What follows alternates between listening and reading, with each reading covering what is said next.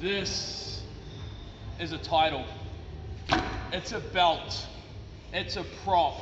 It doesn't even hold my trousers up.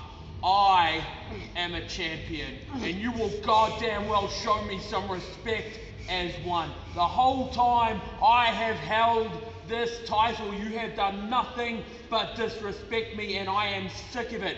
You, sir, are a lazy booker, and until that changes, I won't be here. I am your champion. I am the headline of Heathen Combat. So you know what?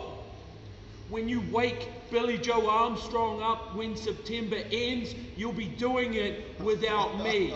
You do it properly, boy. You have a match. You name a number one contender, and then maybe, maybe in November, I'll show up.